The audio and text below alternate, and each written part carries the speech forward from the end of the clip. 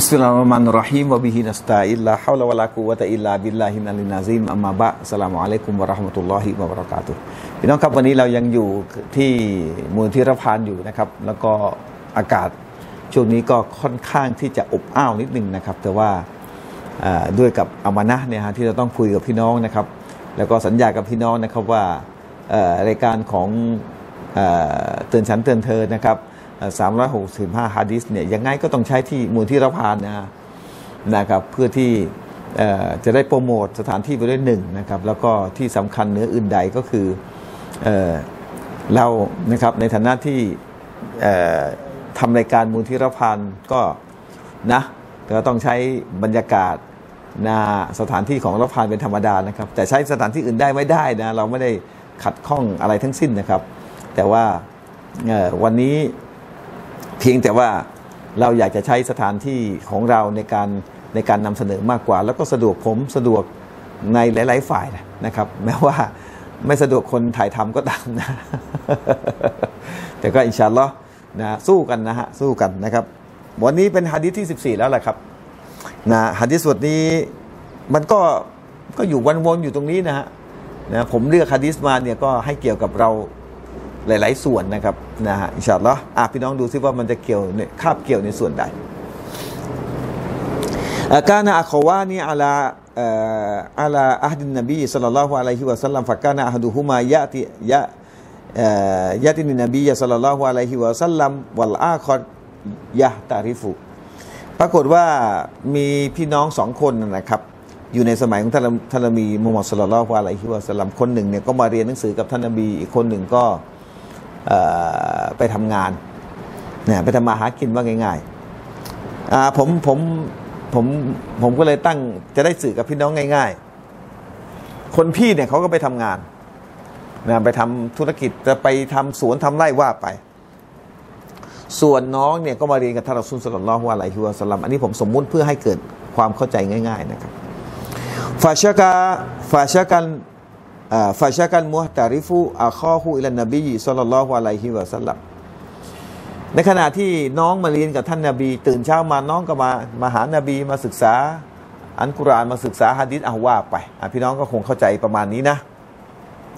เสร็จแล้วตอนเช้าพี่ก็ออกไปทำมาหากินนะครับ จะทำอะไรก็แล้วแต่ไปทำมาหากิน พอสักพักหนึ่งเนี่ยพี่ชายก็เหมือนเหมือนกับว่าแหมไม่ยุติธรรมเนาะ ให้น้องมาเรียนหนังสือ เอาตังค์ให้น้องมาเรียนหนังสือ ตัวเองก็ไปทำมาทำมาหากินได้เงินมาก็เอาน้องมาให้ทำเเรียนหนังสือก็ไม่น่าจะเอาเปรียบทำไมไม่น้องไม่มาเรียนด้วยกันล่ะไอ้น้องเนี่ยทำไมไม่มาทำงานด้วยกัน มันเหมือนเอาเปรียบกัน ไม่ไหวละ วันนี้ไปหานาบีฟาชากาอัลมุฮตาริฟูนะครับพี่ที่ทำอาชีพทำงานเนี่ยก็เลยมาร้องทุกข์อิลันนบีสัลลัลลอฮุอะลัยฮิวะสัลลัม มาร้องทุกข์กับท่านรอซูลสัลลัลลอฮุอะลัยฮิวะสัลลัมว่าฟะกอลาละอัลละกาตุรซักูบิฮีหวังว่าบอกเอ่อถามถาม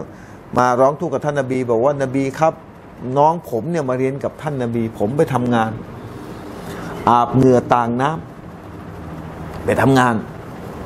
แต่น้องเนี่ยมาเรียนกับท่านนบี มันมันจะมันจะไม่ค่อยยุติธรรมสักเท่าไหร่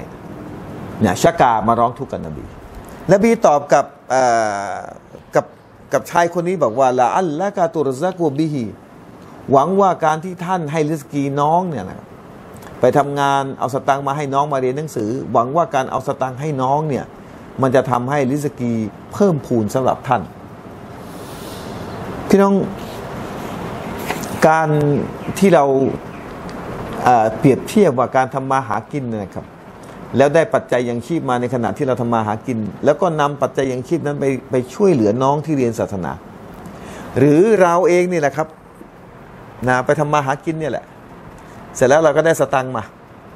พอได้สตังค์มาแล้วเนี่ยผมก็เออเราก็เอาไปอะอะบริจาคให้รับฟานเอาบริจาคช่องนั้นช่องนี้ บริจาคให้มัสยิดนั้นมัสยิดนี้องค์กรนั้นองค์กรนี้แหมดูเหมือนไม่ยุติธรรมนะ เราก็อุตส่าห์ทำงานมาสิ้นเดือนต้องเกียรติมาให้กับองค์กรศาสนาเนี่ยไม่ค่อยเป็นธรรมสักเท่าไหร่ฮะดีษบทนี้เนี่ยตอบโจทย์ได้อย่างชัดเจนนะครับว่า นั่นคือความเป็นธรรมและสิ่งหนึ่งที่มันเป็นนัยยะสำคัญก็คือว่า การที่เราได้แสวงหาปัจจัยยังชีพ แล้วได้ปัจจัยยังชีพมาเนี่ยมันเป็นเหตุมาจาก เราได้ใช้จ่ายไปในหนทางของอัลลอเราได้ส่งเสียคนอื่นเรียนศาสนา เราได้ส่งเสียคนในครอบครัวเราเรียนศาสนา เราได้สนับสนุนกิจกรรมหรือกิจการงานต่างๆ ของศาสนาให้บรรลุเป้าหมาย ขององค์กรนั้นๆ มูลนิธินั้นๆ ผมว่านี่คือความยิ่งใหญ่นะครับ แล้วยิ่งไปกว่านั้น อัลลอฮ์ก็ตอบแทนลิสกีให้กับเขา อันเนื่องมาจากเขาช่วยเหลืองานศาสนา นี่สุดยอดที่สุด อันนี้สุดยอดที่สุด จิตใจของเราคือจิตใจที่จะต้อง ผูกพันอยู่กับศาสนาสิครับ คนที่เป็นครูบาอาจารย์ คนที่เป็นอิหมัมคนที่เป็นกรรมการมูลนิธิกรรมการออองค์กรต่างๆ เขาเองเขาก็อาจจะมีมีธุรกิจส่วนตัวหรือไม่มีก็ตาม แต่เขาก็ขันอาสามาช่วย เสร็จแล้วเนี่ยเขาอาจจะไม่มีไรายได้ แล้วก็บริจาคให้เขา เรื่องเหล่านี้เป็นเรื่องที่เข้าใจง่ายมากๆนะครับ แล้วการที่เราบริจาคให้เขาเนี่ย มันก็เป็นสิ่งหนึ่งที่ทำให้เขาได้เผยแผ่ศาสนาออกไป อย่างยกตัวอย่างง่ายๆเนี่ยอย่างเช่นมูลที่เรับพานเรา เราบันทึกเทป เราออกสด เราตอบปัญหาสด เราบรรยายสด แล้วก็ปล่อยไปยังทีวี ปล่อยไปยังเฟซบุ๊กผู้คนก็มาเรียนรู้มาได้ความรู้จากเรา แล้วความรู้ที่เราได้นี่ก็มาจากสตังของพี่น้องที่บริจาคกกันเข้ามา ที่บริจาคกกันเข้ามา แล้วเมื่อบริจาคมาได้แล้วก็มอบอ่าก็มาผันเป็นอะไรเป็นวิชาการนะนำไปเป็นค่าใช้จ่ายในการดำเนินงานเหล่านี้เนี่ยผมถือว่าเป็นเรื่องที่ที่ยิ่งใหญ่ที่สุด ยิ่งไปกว่านั้นละอัลละกาตุซักุบิฮีอัลลอฮ์ก็จะเพิ่มพูนริสกีให้กับเรา อันเนื่องจากว่าเราช่วยเหลืองานศาสนา อืมพี่น้องมันเป็นเหตุและเป็นผลกันจริง ๆ ครับ อย่าให้พี่น้องอย่าทิ้งซึ่งเหล่านี้ อย่าคิดว่าเป็นเรื่องที่เอาเปรียบไม่เอาเปรียบเลย เราในอิสลามไม่มีคำว่าเสียเปรียบได้เปรียบในเรื่องการสอดก้อนนะครับเพราะอัลลอฮ์เป็นผู้ที่ตอบแทนผลบุญ หน้าที่เราก็ท